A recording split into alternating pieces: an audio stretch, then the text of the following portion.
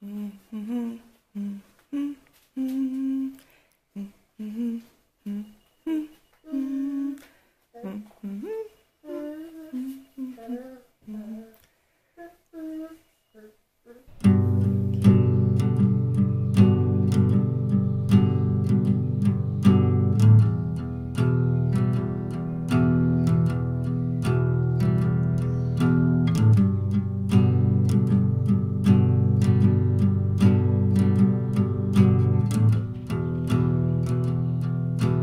Växu, växu, växu, Emmy.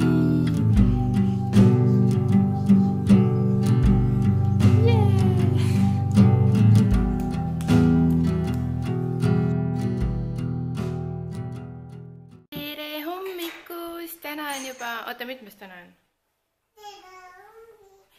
tere hommikust, kahekümne esimene detsember, aga see vlog on, on ju kahekümnenda detsembri kohta.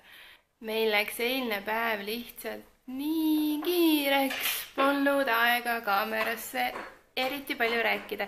nii et ma proovin siis täna ennem kui ma hakkan seda videot kokku panema, seda videot natuke täiendada, et see et see mingi täielik segapudru ei oleks su jaoks. tšau, Emmi, ütled ka tere hommikust?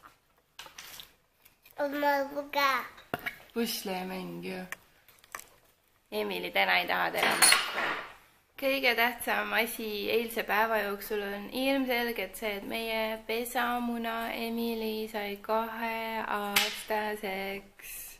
ma ei hakka, ma ei hakka, ma ei hakka siin sellest rääkima lähemalt, et kui kiiresti see aeg on ikkagi läinud oh, jah. õnne soovime sul, õnne soovime sul, palju õnne, kallis emmi, õnne soovime sul. Niimoodi. oota, Emmi puhub. Emmi, puhu küünlaga. Puhu. Tere hommikust! Emmi, puhu küünlad ära, vaatame sokkis. aga eile päev oli meil siis äh, selline, et äh, tüdrukud olid hommikupoole ikka parajalt äh, haig-, haiged, parajalt nohused ja köhased. ja meil oli kell kolm arstiaeg. ja teel arsti juurde võtsime issi Balti jaamast peale, ta tuli rongiga oma lapsepõlvekodus, kus ta käis puid lõhkumas. Näe, Kissi on selles rongis jaa. ma näengi mingit jopet. täna on Emily sünnipäev. on ju, Emmi? kui vana sa oled? kahene. Emmi on kaks. kuidas su näppudega on? kaheaastane. ma näitan kolm. kolm peale. Üks, kaks, kolm. sina oled kolmene. mida? tere, me lähme mäkki. Lähme mäkki või? Jah. Lähme mäkki või? Jah, ja siis me läksime arsti juurde, perearsti juurde. perearst kuulas Sofia kopse ja leidis midagi kahtlast. kuulis midagi kahtlast kopsus. ehk siis ja saatis meid röntgenisse. me sattusime omadega nüüd lastehaigla juurde. Lähme Sofiaga röntgenisse, kopsuröntgenisse, mis on?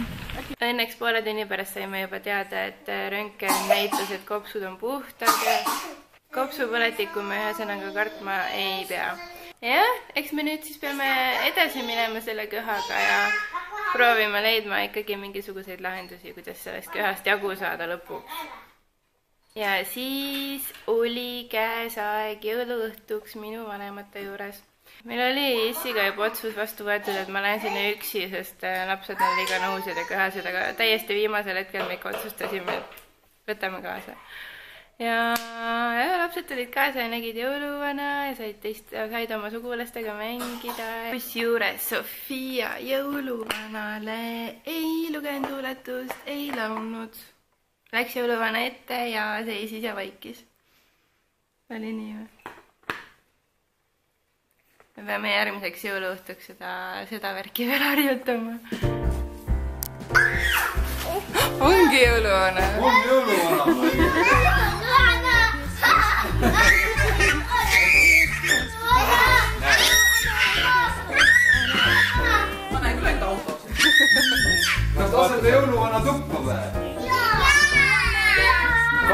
Ta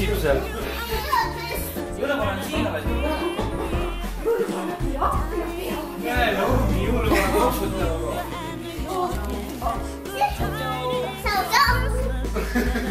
no nii, nüüd siis tuleb.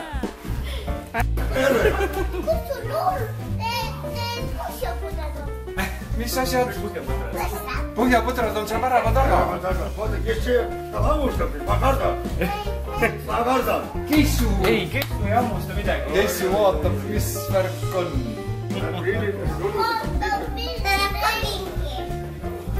Kessu saab ka kinki saada. tere tere,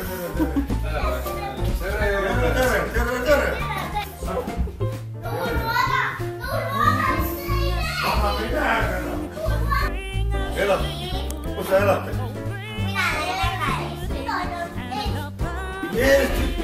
Primeiro, escolha aí.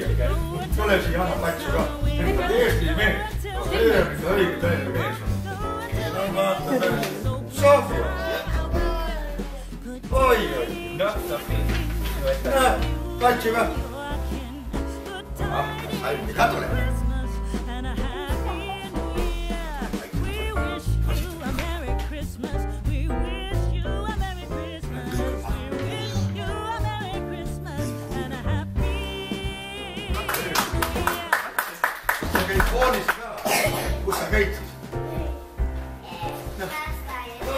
Lasteaias käid, sul meeldib käia lasteaias või? no see on väga hea, ma tubli näen. aja peale pead jagama ennast. Need on ka koos. Emil, kesil. temaad. ohoh, ka. palun, palun. Läksa võtta. oi, oi, oi. tubli, tubli. see on torti, torti. lahe, väga lahe.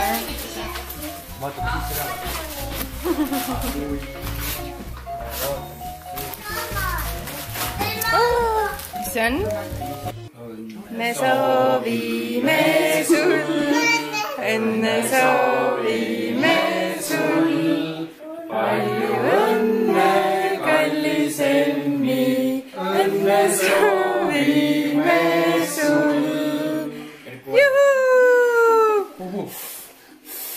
juuksed lähevad, juuksed lähevad. no kuhu veel?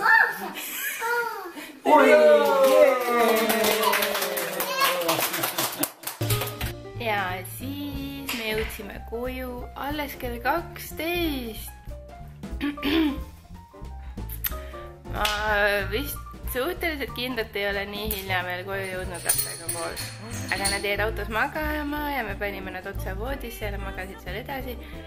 Aga ja ühesõnaga me oleme täiesti vaheaja režiimil juba, et äh, lapsed see aasta enam lasteaeda ei lähe ja me kella ei vaata, me magame siis, kui vesi mul on nii et äh, selles mõttes on mõnus, praegu on täitsa, täitsa, täitsa mõnus, tead.